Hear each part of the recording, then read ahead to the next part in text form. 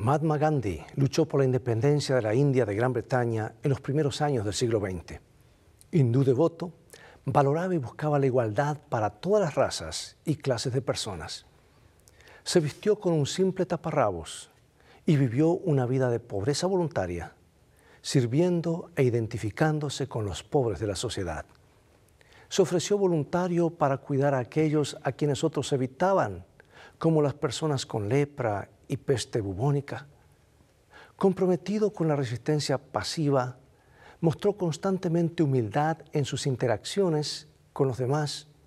Irónicamente, Gandhi se sintió atraído por la vida de Jesús, pero rechazó el cristianismo porque los cristianos no vivían como el Cristo de la Biblia. Los cristianos han sido llamados a ser siervos. Y aunque Gandhi no era cristiano, modeló el liderazgo de servicio al servir a los demás anteponiendo sus necesidades a las suyas. Los creyentes reconocen a Cristo como el jefe de la iglesia. Sin embargo, un grado de organización humana es esencial para la misión y la unidad de la iglesia. Los líderes fomentan la unidad mediante el servicio humilde, la defensa de la verdad, la participación en la disciplina redentora y la organización de la iglesia para la misión. Hoy veremos la organización de la iglesia y la unidad. Así que toma tu Biblia y regresaré en unos momentos.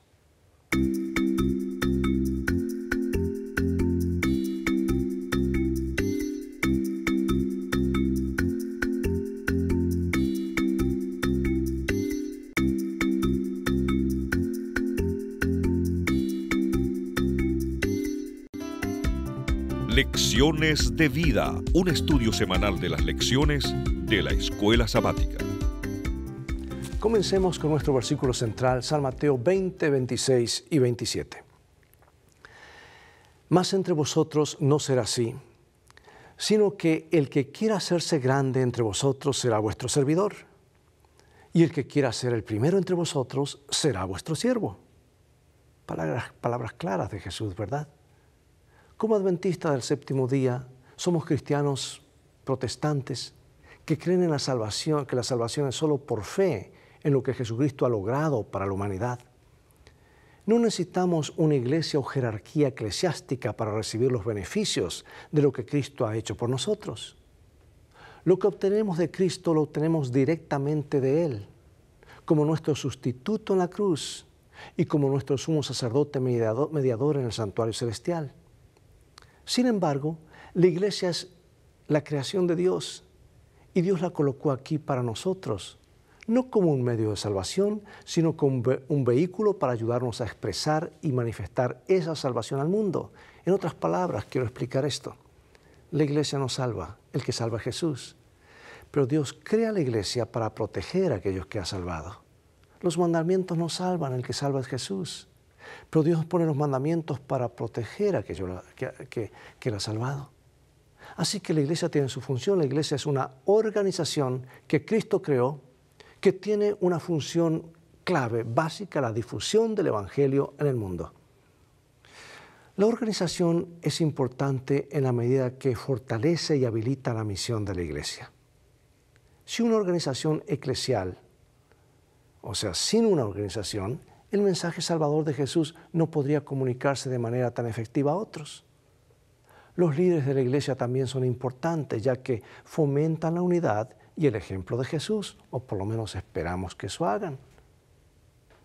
Hoy estudiaremos por qué la organización de la iglesia es crucial para la misión y cómo puede fomentar la unidad de la iglesia.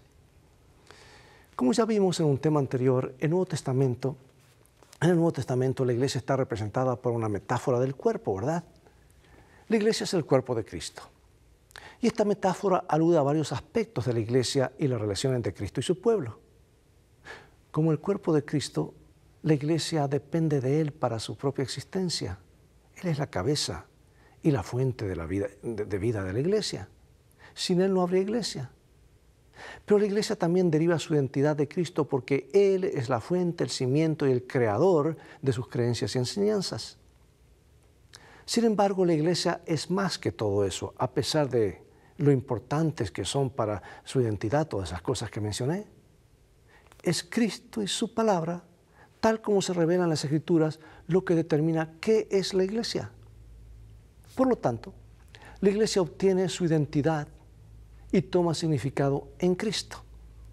Y Pablo usa la relación entre Cristo y su iglesia para ilustrar el tipo de relación que debería existir entre el esposo y la esposa.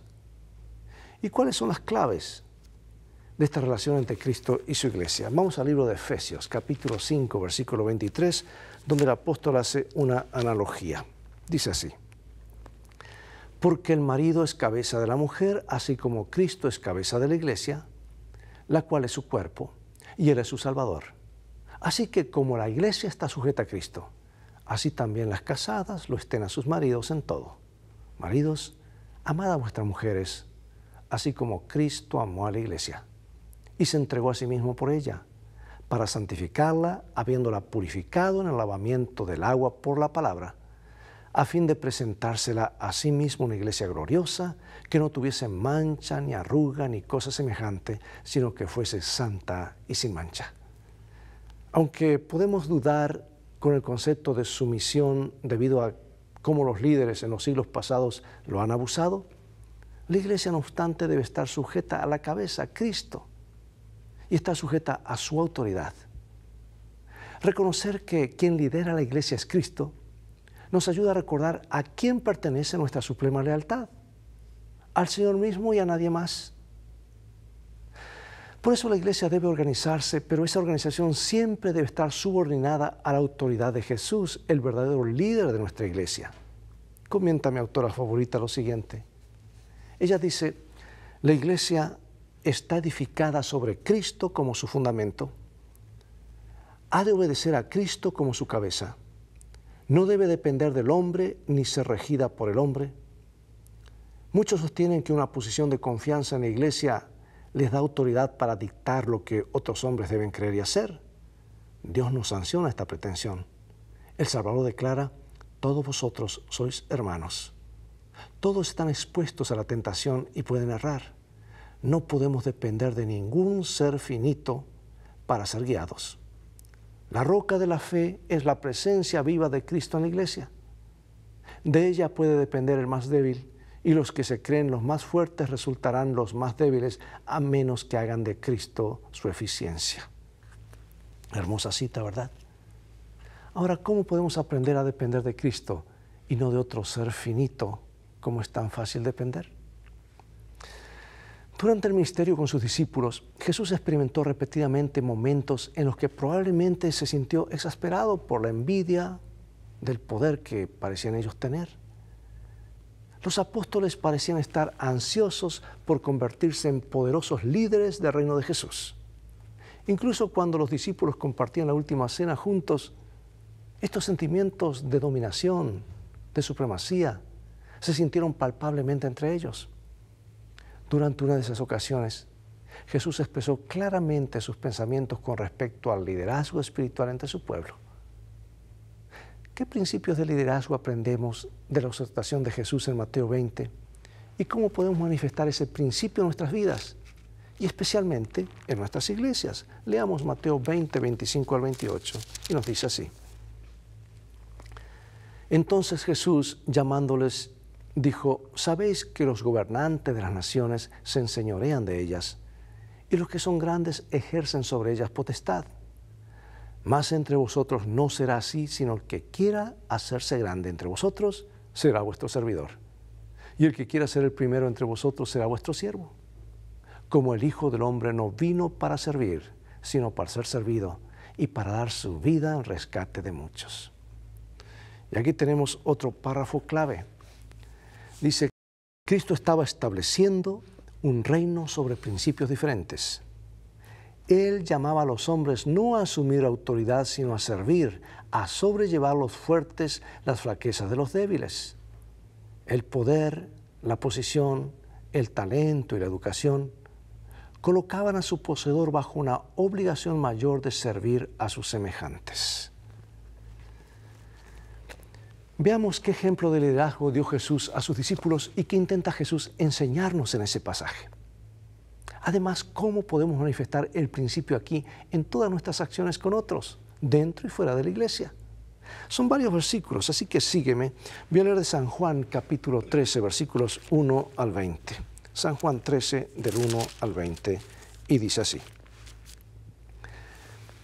Antes de la fiesta de la Pascua, como el diablo ya había puesto en el corazón de Judas Iscariote, hijo de Simón, que le entregase, sabiendo Jesús que el Padre le había dado todas las cosas en las manos y que había salido de Dios y a Dios iba, se levantó de la cena y se quitó el manto y tomando una toalla se la ciñó. Luego puso agua en un lebrillo y comenzó a lavar los pies de los discípulos y a enjugarlos con la toalla con que estaba ceñido. Entonces vino a Simón Pedro y Pedro le dijo, Señor, ¿tú me lavas los pies? Respondió Jesús y le dijo, lo que yo hago, tú no lo comprendes ahora, mas lo entenderás después. Pedro le dijo, no me lavarás los pies jamás. Jesús le respondió, si no te lavares no tendrás parte conmigo. Le dijo Simón Pedro, Señor, no solo mis pies, sino también las manos y la cabeza.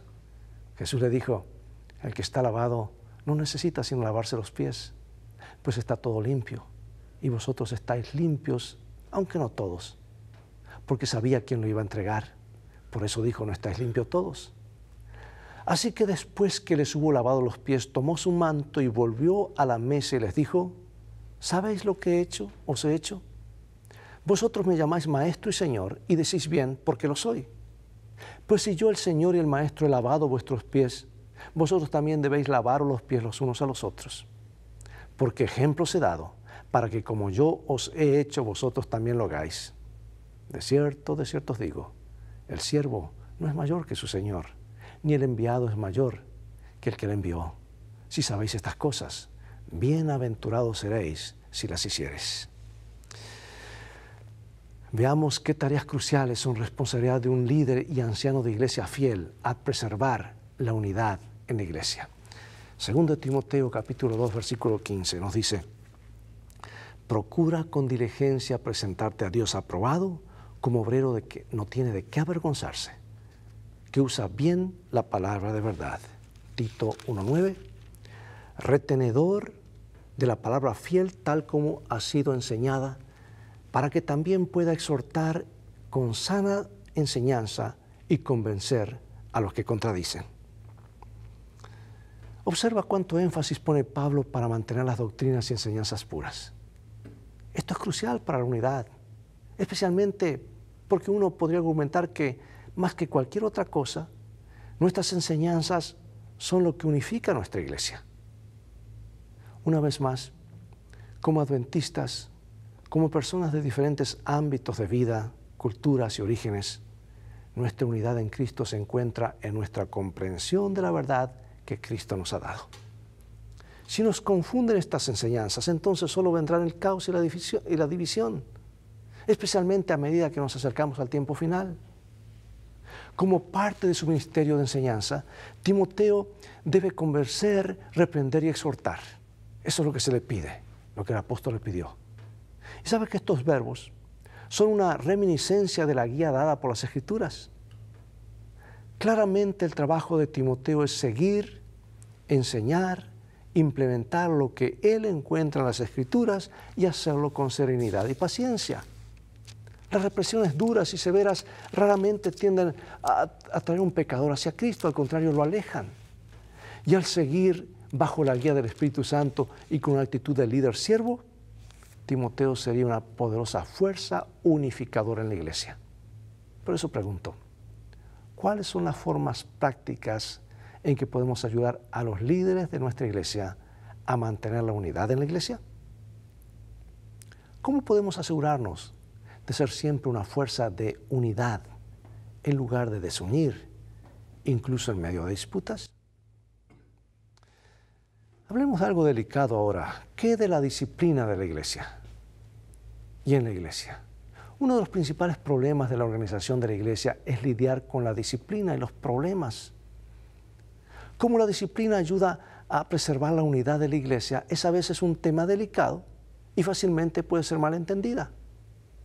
Pero desde una perspectiva bíblica, la disciplina de la iglesia se centra en dos áreas importantes. Número uno, la preservación de la pureza de la doctrina y la preservación de la pureza de la vida y la práctica de la iglesia. Como ya hemos visto, el Nuevo Testamento mantiene la importancia de perseverar, preservar la pureza de la enseñanza bíblica, a pesar de la apostasía y la enseñanza falsa, particularmente al final de los tiempos. Y lo mismo ocurre con la preservación de la respetabilidad de la comunidad mediante la protección contra la inmoralidad, la deshonestidad y la depravación. Por esa razón, se dice que la escritura es útil para enseñar, para redarguir, para corregir, para instruir en justicia. Veamos qué principios dio Jesús a la iglesia con respecto a la disciplina y amonestando a los que tienen la culpa. Vamos a San Mateo capítulo 16, que nos dice así. Y a ti te daré las llaves del reino de los cielos, y todo lo que atares en la tierra será atado en los cielos, y todo lo que desatares en la tierra será desatado en los cielos capítulo 18, versículos 15 al 20. Por tanto, si tu hermano peca contra ti, ve y repréndele estando tú y él solos. Si te oyere, has ganado a tu hermano. Mas si no te oyere, toma aún contigo a uno o dos, para que en boca de dos o tres testigos conste toda palabra. Si no los oyera a ellos, dilo a la iglesia. Y si no oyera a la iglesia, tenle por gentil y publicano. De cierto os digo que todo lo que atéis en la tierra será atado en el cielo, y todo lo que desatéis en la tierra será desatado en el cielo. Otra vez os digo que si dos, dos de vosotros se pusieran de acuerdo en la tierra acerca de cualquier cosa que pidieren, les será hecho por mi Padre que está en los cielos, porque donde están dos o tres congregados en mi nombre, allí estoy yo en medio de ellos. Bueno, la Biblia apoya el concepto de disciplina y de nuestra responsabilidad mutua en nuestras vidas espirituales y morales. De hecho, una de las características distintivas de la Iglesia es su santidad o separación del mundo, sino qué función tendría la Iglesia. Ciertamente encontramos en la Biblia muchos ejemplos de situaciones difíciles que requieren que la Iglesia actúe de manera decisiva contra los comportamientos inmorales. Los estándares morales deben mantenerse en la Iglesia. Veamos dos pasajes. Dos pasajes que son principios que nos enseñan a seguir cuando tratamos asuntos difíciles en la iglesia. San Mateo capítulo 7, versículos 1 al 5 nos dice así. No juzguéis para que no seáis juzgados, porque con el juicio con que juzgáis seréis juzgados, y con la medida con que medís os será medido. ¿Y por qué miras la paja que está en el ojo de tu hermano y no echas de ver la viga que está en tu propio ojo? ¿O cómo dirás a tu hermano, déjame sacar la paja de tu ojo y aquí la viga en el ojo tuyo? Hipócrita, saca primero la viga de tu propio ojo y entonces verás bien para sacar la paja del ojo de tu hermano. El otro principio está en Gálatas. Gálatas capítulo 6, versículos 1 y 2. Hermanos, si alguno fuere sorprendido en alguna falta, vosotros que sois espirituales, restauradle con espíritu de mansedumbre, considerándote a ti mismo no sea que tú también seas tentado. Sobrellevad los unos las cargas de los otros y cumplid así la ley de Cristo. No podemos negar la enseñanza bíblica sobre la necesidad de la disciplina de la iglesia. No podemos ser fieles a la palabra sin eso. Pero observa la calidad redentora en muchas de estas advertencias. Tanto como sea posible, la disciplina debe ser tan redentora como sea posible, no punitiva, sino redentora. Necesitamos recordar también que todos somos pecadores y que todos necesitamos la gracia. Por lo tanto, cuando administramos la disciplina debemos hacerlo con humildad y con una aguda conciencia de nuestros propios defectos. Como hemos visto a lo largo de este trimestre, durante estos tres meses que hemos estado estudiando estas lecciones acerca de la unidad, para que todos sean uno, y lo cual es una repetición, como iglesia hemos sido organizados y unificados para la misión, para el alcance. No somos un club social para que las personas de ideas afines se reúnan y se apoyen mutuamente en lo que creen. Para eso hay otras cosas, hay otros clubes. Aunque esto puede ser importante, por supuesto, pero no es lo principal. Nos hemos reunido para compartir con el mundo la verdad que nosotros mismos hemos llegado a amar. Y en Mateo 28, 18 al 20, la gran comisión, Jesús le dio a los discípulos las instrucciones finales para su misión al mundo. ¿Recuerda esos versículos? ¿Qué implican estas palabras para la iglesia de hoy? La gran comisión de Jesús a sus discípulos incluye cuatro verbos claves. Ir, hacer discípulos, bautizar y enseñar. Y de acuerdo con la gramática griega de estos versículos, el verbo principal es hacer discípulos y los otros tres verbos indican cómo se puede hacer. Los discípulos se hacen cuando los creyentes van a todas las naciones para predicar el Evangelio, bautizar a las personas y enseñarles a observar lo que Jesús dijo. Y a medida que la iglesia responde a esta comisión, el reino de Dios se agranda más y más y más personas de todas las naciones se unen a las filas de aquellos que aceptan a Jesús como Salvador. Su obediencia a los mandatos de Jesús, de ser bautizado y observar sus enseñanzas, crea una nueva familia universal. Los nuevos discípulos también tienen la seguridad de la presencia de Jesús todos los días, porque eso es lo que Él prometió, ya que ellos mismos hacen más discípulos. O como dijo el apóstol, salvando a otros, te salvas a ti mismo. La presencia de Jesús es una promesa, es la promesa de la presencia de Dios con nosotros.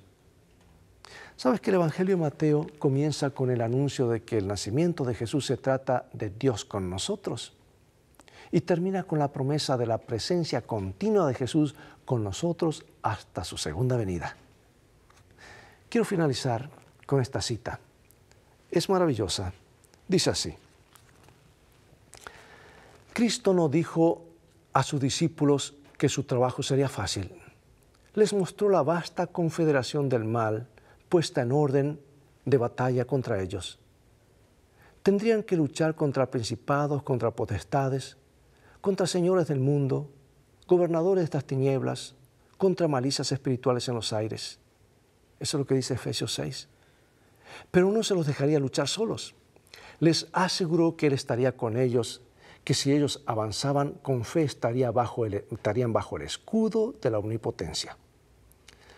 Les ordenó que fuesen valientes y fuertes, porque uno más poderoso que los ángeles estaría en sus filas, el general de los ejércitos del cielo. Hizo amplia provisión para la prosecución de su obra y asumió él mismo la responsabilidad de su éxito. Mientras obedecieran su palabra y trabajasen en comunión con Él, no podrían fracasar. Así que, amados, la buena organización de la iglesia es esencial para la misión de la iglesia y para la unidad de los creyentes. Cristo es la cabeza de la iglesia. Y los líderes de la iglesia deben seguir su ejemplo mientras guían al pueblo de Dios. Un líder cristiano debería ser un humilde servidor. La unidad se preserva mediante la enseñanza fiel de la palabra de Dios y viviendo en fidelidad a esa palabra. Tal vez tú puedas decir, pero a mí me cuesta. Yo simplemente soy un miembro que va para calentar las bancas o sentarme en la iglesia y allí nada más. Yo no tengo talentos. Sí, Dios te ha dado talentos. Habla con tu pastor. Dile, ¿qué puedo hacer? A mí me gusta hacer esto, lo otro. ¿Qué puedo hacer para la obra de Dios? Y tú verás que a medida que pones ese talento, es bíblico esto, a medida que pones talento a trabajar para Dios, Dios te comienza a multiplicar duplicar y triplicar y multiplicar talentos. Y luego vas a decir, ¿por qué no comencé a hacer esto antes? Es lo que Dios espera de ti. Porque Dios nos llama a ser discípulos, a seguir su método, porque su método nunca falla. Hacerse amigo de la gente, mostrar simpatías por ellos, atender sus necesidades y luego invitarlos a que acepten y escuchen el resto de la historia de que este mundo, esta vida no es todo, hay una vida eterna por delante. Tampoco la iglesia es una entidad social que solamente está para atender las necesidades de las personas como un fin en sí mismo, no. Nosotros atendemos las necesidades para mostrarles que sí nos interesamos por ellos, pero nos interesamos por algo más allá que el bienestar de aquí y ahora, sino por el bienestar eterno. Cuando tú comienzas a hacer el método de Cristo, Comienzas con clases de inglés, comienzas a, limpiar nieve tus vecinos en lugar de nieve, comienzas tal vez a regalar un pan a tus vecinos. Abres un buzón de oración junto al buzón de, la iglesia y pasas invitaciones al, al, vecindario diciendo, la iglesia adventista cree en sus necesidades, se interesa por sus necesidades y estaremos orando por ti. Deja aquí antes de ir al trabajo tu petición y allí hay unos papelitos. Te vas a asombrar la cantidad de gente que va a dejar esos papelitos en los buzones para que se ore por ellos. Yo siempre hago esta pregunta en los seminarios que doy. Si tu iglesia a la que asistes cerrara sus puertas hoy, por algún motivo, ¿lo notarían los miembros de tu comunidad? En otras palabras, ¿está haciendo una influencia para los demás? ¿O simplemente es un lugar donde se reúnen a escondidas y para cómo en algún lugar están tan escondidos que es difícil? Estaba en cierta parte del mundo, no voy a decir porque el mundo es chico, y llamé al pastor y dije, estamos en tal dirección. Pasé una hora buscando y no llegué con la iglesia. Y finalmente seguí buscando y pedía direcciones. Finalmente no lo encontraba y le pregunto, pastor, no le voy a preguntar dónde se reúnen, dónde se esconden ustedes. Finalmente di con el lugar, porque alguien fue a buscarme. Ya ya estaban en un sótano, doble sótano, encerrados, sin salir a conectarse con la comunidad. Vosotros sois la sal de la tierra, vosotros sois la luz del mundo.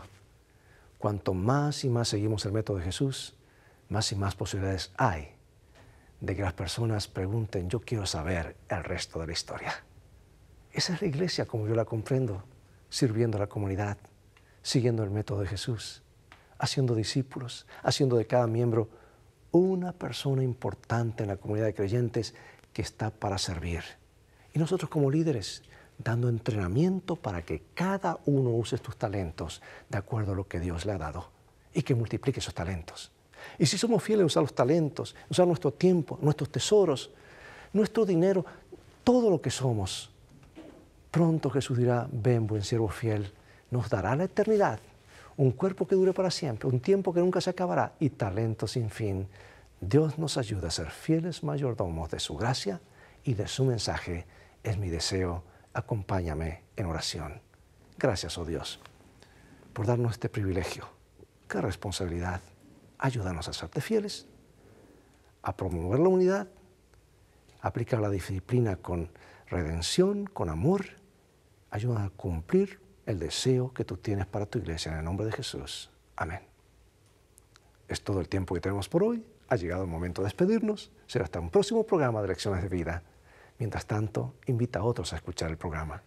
Dios te bendiga y te guarde y recuerda, tú vales mucho para Jesús. Él te ama más de lo que puedes imaginar.